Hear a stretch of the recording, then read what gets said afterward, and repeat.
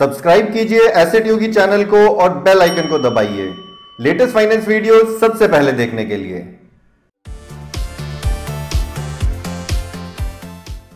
नमस्कार, मेरा नाम मुकुल है और एसेट योगी में आपका स्वागत है, जहाँ हम फाइनेंस की नॉलेज को लॉक नहीं अनलॉक करते हैं। इस वीडियो में मैं बात करने वाला हूँ नेट एसेट वैल्यू के बारे में।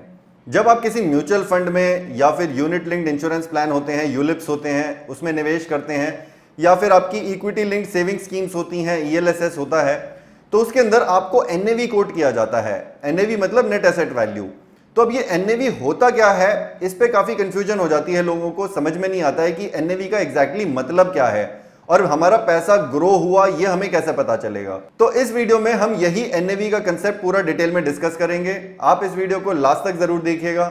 चलते हैं सीधा ब्लैक बोर्ड की तरफ़। अगर हम नेट एसेट वैल्यू की डेफिनेशन की बात करें तो ये value per unit of a mutual fund या यूलिप होती है। तो एज एन इन्वेस्टर जब भी आप कोई म्यूचुअल फंड खरीदते हैं या बेचते हैं तो आप एन के प्राइस पे खरीदते या बेचते हैं। आप इसको एक तरीके से ये मान के चलिए शेयर का जो प्राइस होता है, अगर आप शेयर्स के अंदर डायरेक्टली इन्वेस्ट करते हैं तो आप शेयर प्राइस के ऊपर इन्वेस्ट करते हैं। म्यूचुअल फंड्स या यूलिप के केस में आप एनएवी के प्राइस पे इन्वेस्ट करते हैं या उसी प्राइस पे बेचते हैं। चलिए इसको हम एक एग्ज़ाम्पल से समझते हैं। मान लीजिए ये एक फंड है और लेट से इसके जो टोटल एसेट्स हैं, उनकी वैल्यू 50 करोड़ रुपए है। अब ये जो फंड है 50 करोड़ रुपए कहीं ना कहीं इन्वेस्ट करेगा और उससे जो भी रिटर्न्स मिलेंगे, वो आपको एज एन इन्वेस्टर वापस करेगा। तो अब जो इसके फंड ओनर्स हैं, वो या तो ये कर सकते हैं कि खाली 10 इन्वेस्टर्स ढूंढे जो पाँच पाँच करोड़ रुपए लगा सकते हैं तो उन्हें खाली 10 ही यूनिट रिलीज़ करनी पड़ेंगी राइट लेकिन रियल लाइफ सिनेरियो में ऐसा नहीं होता है, क्योंकि अब म्यूचुअल फंड को रिटेल इन्वेस्टर्स को अट्रैक्ट करना है वो इस फंड को मल्टीपल यूनिट्स के अंदर ब्रेक कर देते हैं। लेट से ये दो करोड़ यूनिट्स लॉन्च कर देते हैं। दो करोड़ यूनिट्स या फिर शेयर्स तो ये जो 50 करोड़ का अमाउंट है, ये दो करोड़ यूनिट्स या शेयर्स में डिवाइड हो जाता है और आप मल्टीपल यूनिट्स या शेयर्स खरीद सकते हैं। तो अगर मैं यहाँ पे आपको एग्जांपल दूँ, मान लीजिए अगर आप किसी म्यूचुअल फंड में let's say X Y Z कोई म्यूचुअल फंड है, आप उसके अंदर लेट से पच्चीस हज़ार रुपए इन्वेस्ट करना चाहते हैं और लेट से पच्चीस रुपए नेट एसेट वैल्यू है एनएवी एक यूनिट की वैल्यू जो है पच्चीस रुपए है तो आप उसकी हज़ार यूनिट्स खरीद सकते हैं। सिंपली ये है इसका मतलब तो आपको पच्चीस रुपए की हज़ार यूनिट्स मिल जाएँगी। ये जो पच्चीस रुपए है, यही आपकी नेट एसेट वैल्यू है। तो अगर हमें इसे फॉर्मूला में कैलकुलेट करना हो तो ये फॉर्मूला में कैसे कैलकुलेट होता है?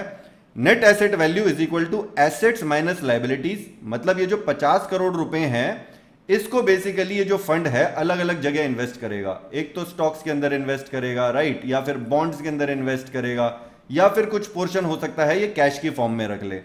फिर लाइबिलिटीज क्या होंगी इसकी? जैसे अब इस फंड को मैनेज करने के लिए कुछ एडमिन एक्सपेंसेस होंगे ऑफ़िस एक्सपेंसेस होंगे मैनेजमेंट की फ़ीस होगी वो आपकी लाइबिलिटीज हो गई। तो जितना भी आपका assets minus liabilities divided by total number of units total number of units आपकी दो करोड़ हो गई तो आपकी नेट एसेट वैल्यू निकल के आ जाएगी। तो बेसिकली एसेट्स हो गए आपके stocks plus bonds plus cash या फिर कहीं और इन्वेस्ट करता है वो फंड तो वो आप ऐड कर देंगे।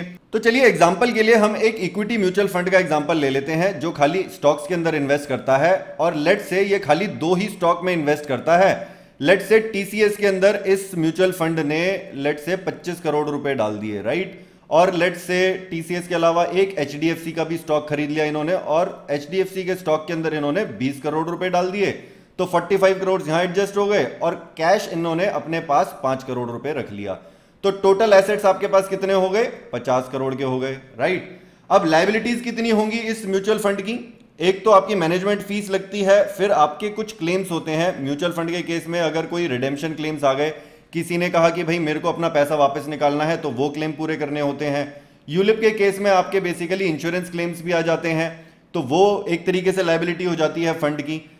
अब हम इस केस के अंदर खाली मैनेजमेंट फ़ीस की ही लाइबिलिटी मान लेते हैं। लेट से दो परसेंट पर एनम की अगर इसकी लाइबिलिटी है या फिर मैनेजमेंट फ़ीस है तो अब आपको पर डे कैलकुलेट करनी है तो ये बेसिकली डिवाइडेड बाई आप 365 कर देंगे तो ये आपकी पर डे की फ़ीस आ जाएगी।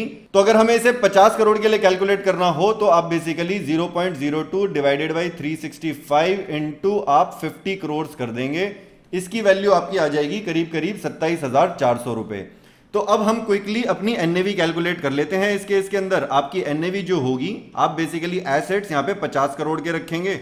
तो मैं यहाँ पे 50 करोड़ लिख देता हूँ। राइट फिर अब हम इसमें से माइनस कर देंगे ये लाइबिलिटीज तो ये हमारी लाइबिलिटी हो गई मैनेजमेंट फ़ीस सत्ताईस हज़ार चार सौ माइनस हो जाएगी। अब देखिए 50 करोड़ के सामने सत्ताईस हज़ार चार सौ एक दिन की फ़ीस बहुत ही कम है, कोई खास मैटर नहीं करती है।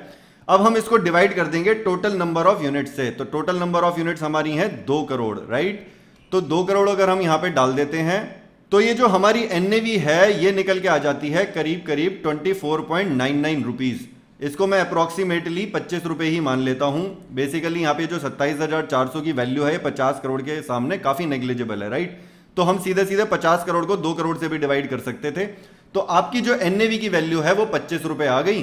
तो अगर मान लीजिए आप पच्चीस हज़ार रुपए इन्वेस्ट करते हैं तो आप, आपको बेसिकली हज़ार यूनिट्स अलॉट हो जाएँगी राइट तो इस तरीके से आप नेट एसेट वैल्यू कैलकुलेट कर सकते हैं। अब हम देखते हैं कि हमारे रिटर्न्स कैसे कैलकुलेट होंगे। Let's say after one year after one year जो बेसिकली आपके एसेट्स हैं लेट से उनकी वैल्यू ये जो टीसीएस का स्टॉक है लेट से 25 करोड़ से ये 35 करोड़ पहुँच जाता है। मार्केट्स काफ़ी अच्छी चल रही हैं राइट तो यहाँ पे आपका टीसीएस की वैल्यू हो गई 35 करोड़ रुपए।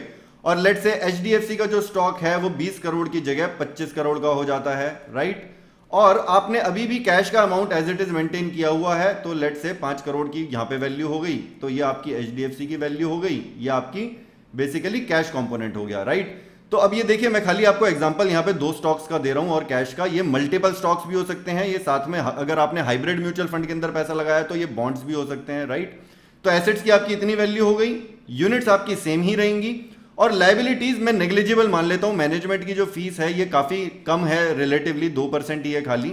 और हमने बाकी के अभी लाइबिलिटीज ज़ीरो ही मान लिए हैं। तो हम क्या करेंगे, अपने नेट एसेट वैल्यू अब कैसे कैलकुलेट करेंगे? आप ये पूरा का पूरा ऐड कर लेंगे तो ये आ गए आपके 65 करोड़ वैल्यू डिवाइडेड बाई आप दो करोड़ कर देंगे तो यहाँ पे बेसिकली आपकी नेट एसेट वैल्यू बेसिकली 32.5 हो गई एक साल के बाद। तो अब आपके बेसिकली रिटर्न्स कितने आए? आपके जो पच्चीस हज़ार रुपए थे पच्चीस हज़ार, आपकी यूनिट्स तो सेम ही रहेंगी राइट तो आप basically 32.5 two point five into one thousand units कर देंगे राइट तो आपका ये जो पच्चीस हज़ार का अमाउंट था एक साल पहले, वो अब बेसिकली बन गया बत्तीस हज़ार पाँच सौ। अब अगर आप एक साल बाद ये पैसा निकालते हैं तो आपको बत्तीस हज़ार पाँच सौ रुपए मिलेंगे। तो एक तरीके से आपको ये थर्टी परसेंट रिटर्न मिल गए, आपका पैसा तीस परसेंट बढ़ गया।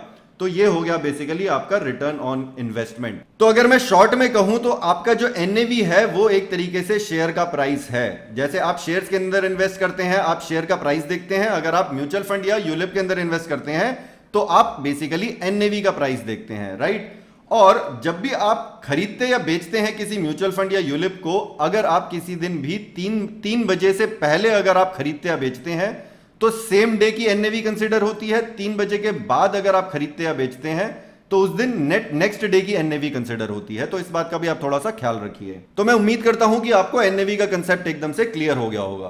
तो इस वीडियो में बस इतना ही। अगर आपको ये वीडियो अच्छा लगा तो इसको लाइक और शेयर ज़रूर कर दीजिए। अगर आपके कुछ सुझाव हैं या आप कोई फीडबैक देना चाहते हैं इस वीडियो से रिलेटेड या इस चैनल से रिलेटेड तो आप नीचे कमेंट कर सकते हैं।